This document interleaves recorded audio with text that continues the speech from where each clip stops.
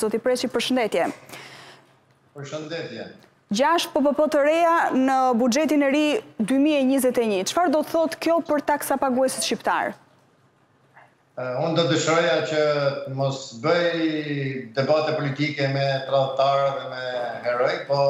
të merrem një çikë ma shumë me ekonominë. Ajo çka du të them është që gjashtë partneritete publike private të reja për ekonominë, Në rastin më të mirë, do të thotë një rritje e borxhit publik drejt kufijve të pakontrollueshëm dhe është një kërcënim për stabilitetin makroekonomik të vendit dhe ekonominë në tërësi, dhe në rastin më të keq është një nënshtrim i qeverisë nga lobet oligarkike dhe për interesa që s'kanë të bajnë me ekonominë kombëtare. Shumica e tyre janë të pakërkuara, të panevojshme, të parakohshme dhe përtej fuqisë ekonomike reale që ka ekonomia jonë kombëtare. Jetojmë në kohë krize, me rënien ekonomike më të ulët që nga viti një mijë e nëntëqind e nëntëdhjetë e shtatë apo që nga viti një mijë e nëntëqind e nëntëdhjetë e një, dhe në thelb gjithçka që buron nga buxheti duhet të destinohet për të ruajtur vendet e punës, për të çelë vende të reja pune, sepse papunësia është efekti kryesor i kësaj krize, dhe njëkohësisht për të futë në qarkullim potencialet ekonomike që ka vendi. Nga ana tjetër, këto koncesione të reja, këto partneritete publike-private të reja, përveç që do të rrisnin koston e shërbimeve publike për të cilat ofrohen, rrezikojnë të çojnë në dobësim të mëtejshëm të rolit kontrollues dhe mbikëqyrës të shtetit dhe në të njëjtën kohë të jenë një seri vargojsh në qafën e taksapaguesve edhe për 10 apo 15 vite të ardhshme. E kuptoj. Ndërkaq, zoti Preçi, Ju e thatë pak më herët pasi nuk janë të nevojshme pasi dihet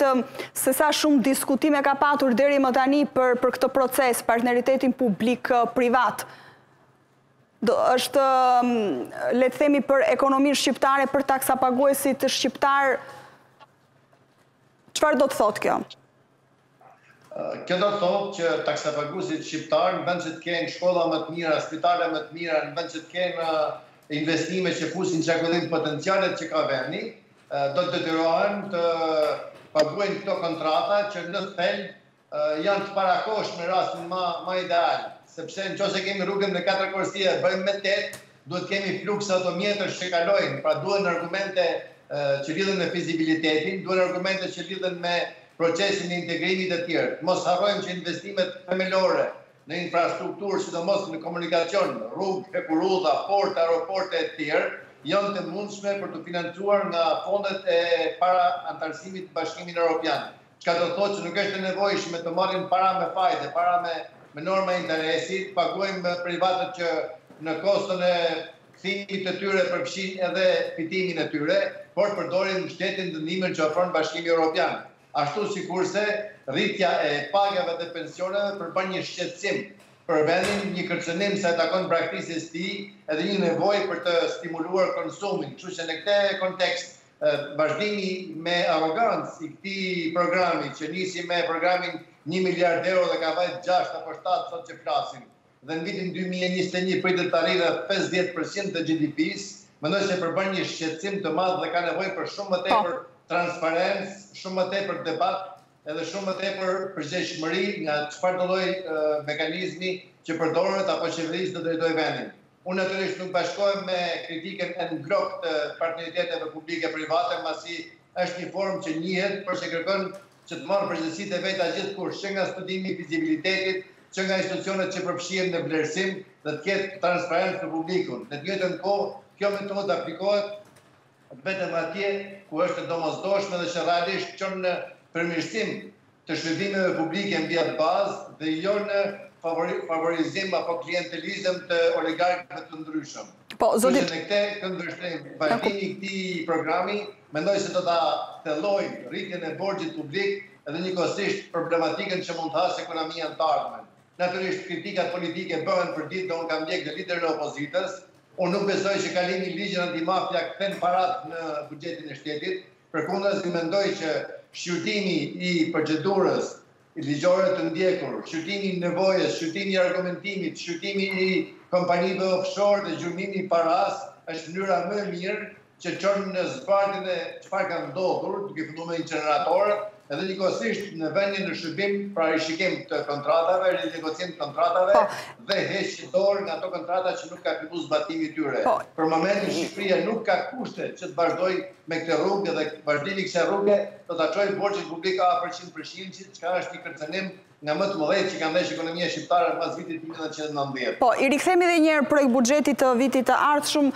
ka një rritje të shpenzimeve, Ministria e Ekonomisë e ka bërë publike, është miratuar një ditë më parë në qeveri dhe ministria sot e ka bërë publike ku do të jenë shtyllat kryesore të këtij projektbuxheti. Si e shihni dhe kjo rritje ekonomike pikërisht në këto kohë, në këto periudhë, në kohë krize nga pandemia?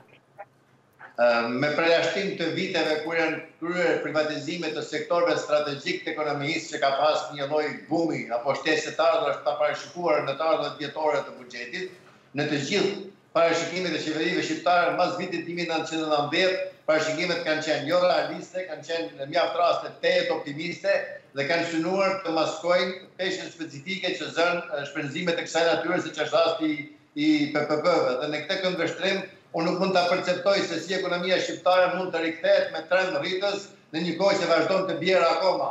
dhe mendoj se është shumë shumë e nxituar. Arritja e nivelit të ekonomisë shqiptare vitit dy mijë e nëntëmbëdhjetë do të kërkojë minimalisht tri deri në pesë vjet, çka do të thotë që dy mijë e njëzet e një është një vit që të shpresojmë një rënie më të vogël, por është vështirë të besohet që mund t'i rikthehet trendit rritës, për më tepër që klima e biznesit Është shumë larg pritshmërive dhe për rrjedhojë mundësia për të absorbuar investime të huaja direkte që do të kompensonin situatën e brendshme është mjaft e vogël, ashtu sikurse edhe gjallërimi i konsumit duket larg, pasi paketat e ndihmës që janë dhënë kanë qenë më shumë një lëmoshë për të punësuarit dhe një lloj tunje karamele për biznesin dhe larg mundësisë që ekonomia të ketë një gjallërim real, çka presupozon ruajtje e vendit punës dhe krijimi i vendeve të punës të reja. Kështu që në këtë, në këtë këndvështrim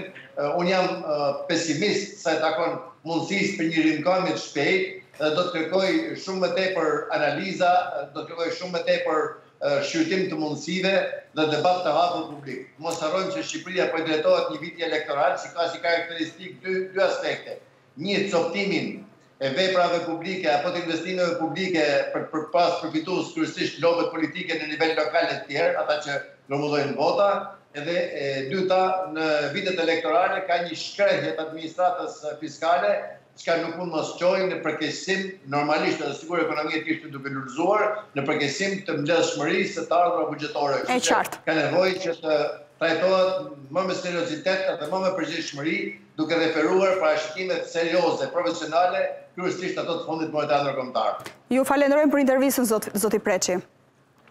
Ju faleminderit juve.